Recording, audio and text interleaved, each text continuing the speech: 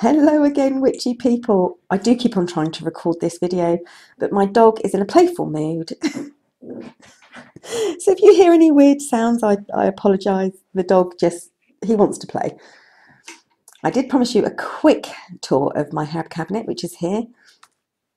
I will try not to shake the camera too much. It is quite difficult to hold. So as you can see, the first thing is there is a lock on the door. It's not particularly strong lock. It's just a bit of a deterrent there to keep the grandchildren out. And then it opens up. And here's my herb collection. Now, whenever I put anything into my Etsy store, everything comes from this cabinet.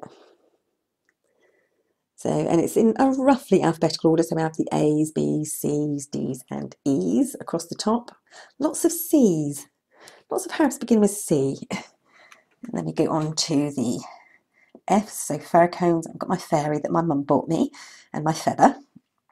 So F, G's, H's, there's holly and hawthorn, ivy. Some keys there.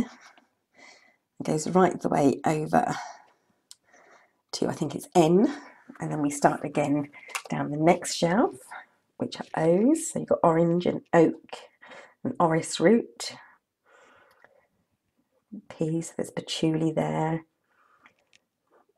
I don't think I've got anything beginning with Q. A few R's S a couple of T's W no X's a couple of Y's and a few no there's no Z's.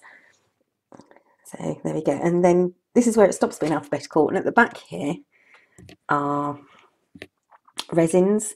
So all my resins are here in these small bottles. This is a resin, and this one back here, and this here. I keep my uh, Guggul resin in here in a separate bag because it stays quite sticky. Um, then we have here, this is uh, nails and bits of metal.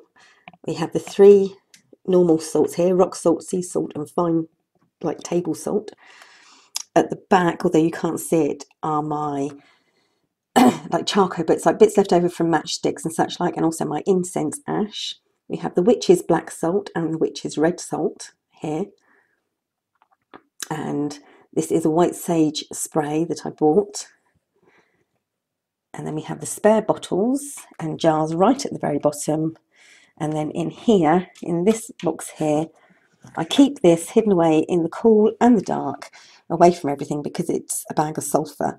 So in here I keep my sulphur and I like to keep it away from the radiator, away from heat, away from sunlight, just in case. Of course there's also vanilla pods. so there we go, my herb cabinet. Just a quick glance through.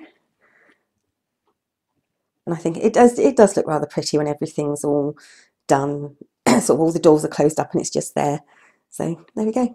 I hope you enjoyed having a quick look through and a few of my herbs and spices and weird and wonderful things. So thank you for watching. Bye bye for now, witchy people.